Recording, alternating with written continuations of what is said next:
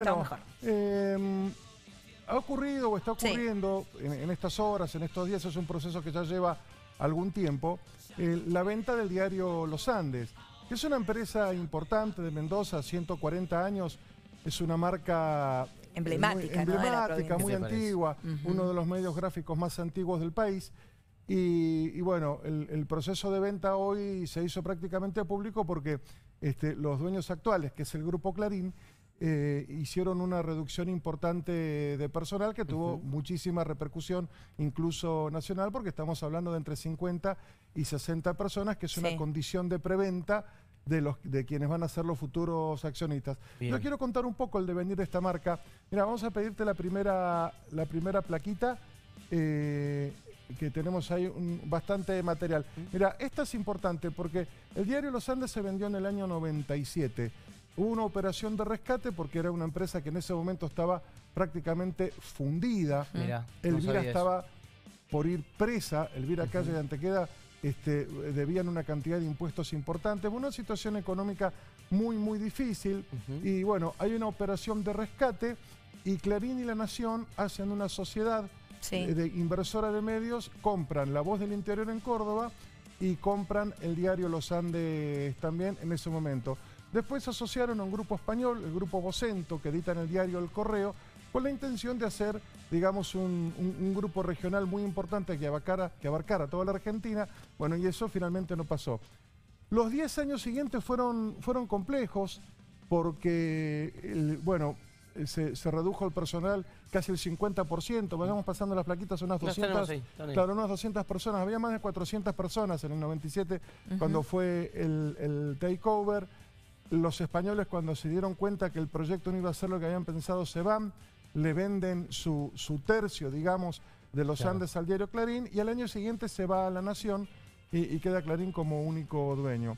Y después ocurrió el, el proceso, estas cosas que pasan con los grandes medios y con grandes empresas que les cuesta adaptarse eh, a, a los nuevos tiempos. Bueno, el Grupo América lo hizo, dejó de salir el papel, muchos diarios dejaron de imprimir 2018. papel. Esto para que la gente lo sepa, el insumo crítico de, de un medio gráfico es el papel. El papel. No hubo, entonces este, todo el mundo empezó a salirse del papel, Cada a vez se saltar online, ellos Ahora, ellos Sí. van a seguir haciendo el diario papel, ¿no?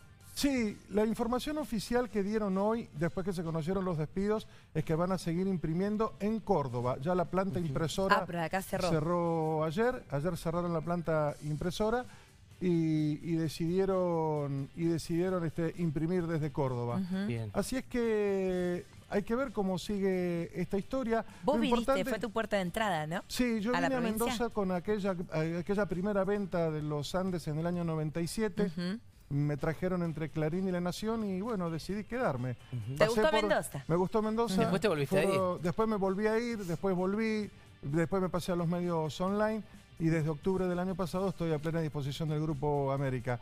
Este, aquellos años fueron de mucha competencia periodística, mucha. Estaba Diario 1 con Jaime Correas. Claro. Este, y bueno, me tocaba conducir la redacción de Los Andes.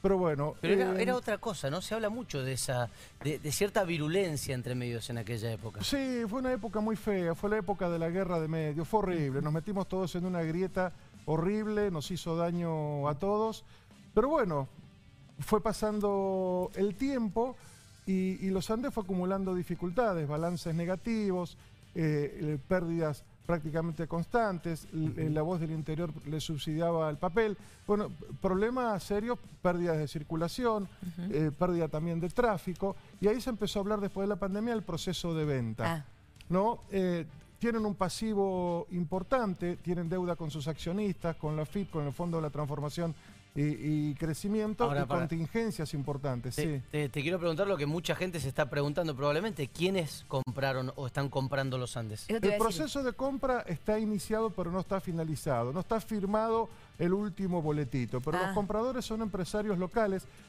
Es interesante desde dos puntos de vista. Uno, Los Andes vuelve a ser plenamente mendocino. Es verdad. Durante muchos años este, eh, para los Andes fue un problema su socio principal, porque les decían son Clarín, ¿entendés? La, la política local no confiaba plenamente, bueno, todo un tema.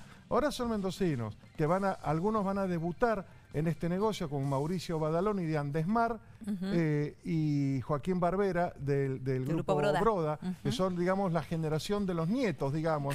De Teresa Barbera. De Teresa Barbera. Sí. Así que van a estar ellos. Y Mariano Alonso también, que ya tenía una participación en los Andes, cuyo visión, eh, lo- los dueños del Canal 9, eh, también van a estar ahí, que es el que sabe de medios. Los, Claro, lo- ¿no? los que tienen experiencia. Eh, Joaquín Barbera y Mauricio Badaloni. Es una pena que no hayan querido hablar, porque no, no, no hubo forma de hablar con ellos directamente.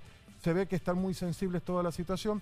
Pero bueno, Y es- es Si no se ha firmado todo, quizás hasta lo los que pasa es que ellos habían planteado exigencias que son dolorosas y son durísimas, a nadie le gusta, Y a sí. nadie le gusta hacer un ajuste, siempre es doloroso. A mí me tocó vivirlo desde el otro lado, me tocó desvincular gente en los Andes, fue una época terrible, pero la verdad es que eh, cuando el negocio no da, no da y es así. Y el ajuste ¿viste? Y a veces el ajuste te llega o la venta en este caso. Entonces, lógico, alguien que va a comprar dice, che, tenés un pasivo de 3 millones de dólares de o de 800 millones de pesos en ese momento, tenés 120 empleados, son un montón, más los colaboradores, tenés Claro. un montón de contingencia, estás perdiendo el mercado, arreglame uno de estos números. Y bueno, fue lo que sucedió hoy. Yo tengo igual una pregunta hacia el futuro, si lo que viene es un proyecto periodístico o un proyecto político. Pues Mauricio Badaloni ahora es una figura también de la Del- de política. la política, bienvenido, claro. una figura de la política muy ligado al sector empresario de Cambia Mendoza, a la Unión Industrial Argentina. Así que veremos,